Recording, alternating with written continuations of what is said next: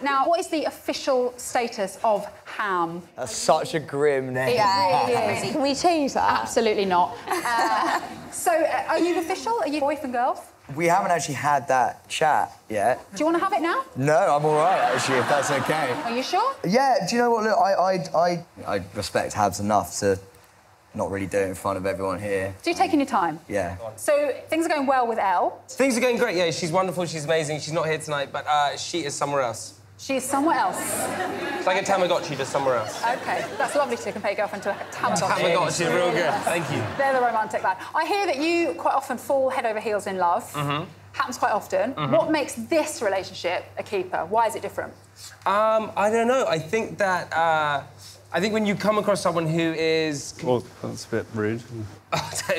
It's made a joke about coming across someone. yeah, yeah, yeah, yeah. When you find someone who is uh, like Eloise, it, I've never experienced. She's amazing, so that's why it's different.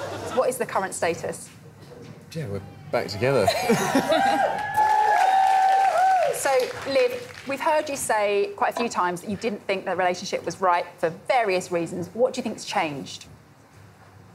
Um, when this was all going on, I was like vocalizing a lot of things and not really spending time with just me and Digby. No, it was all just a bit of a mess. I so, think. so now, do you feel like you can see a future? You think guys, you guys are right together? Yeah. That was meant confidently, by the way. That's good. He's sweating. And Digby, when Sam said that you've been mugged off, do you feel like you've been mugged off? Do you feel like that's Um, absolute nonsense? I think sometimes I've been mugged off, yes, but I don't think they truly know the ins and outs of our relationship. I think it's just one opinion being voiced. Um, and I think Liv and I have discussed it and we've sorted everything out now. And I think we're, um, yeah, looking forward. And Liv, how are things for you and Sam at the moment? Not great. I mean, his pink hair's gone, thank God.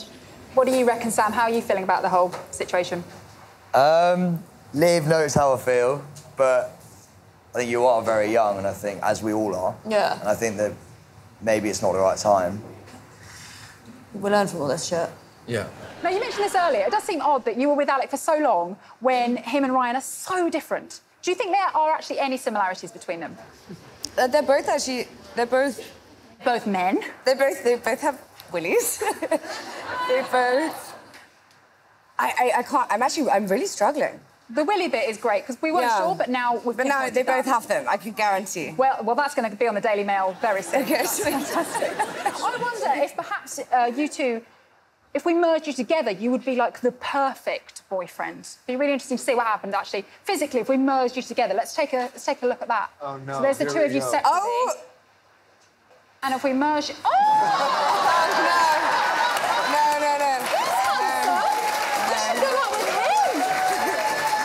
Thank you, man. See that? That is a downgrade. That is a downgrade. That's a downgrade. Finally, Alex, the, the key question of the series, I think everyone wants to know, is your dad single? Because you and Louise might be over, but what about your dad and Mrs. T? Oh, there's a oh, couple I want to see. Talk about a match made in heaven. What do you reckon? Well, you know, my father is quite the eccentric. He typically doesn't date anyone over the age of 30. Oh, okay. And you're 32, so one. it's not going to work out. His loss, absolutely his But loss. you know, you could make the cut. I mean, you look not a day over 29.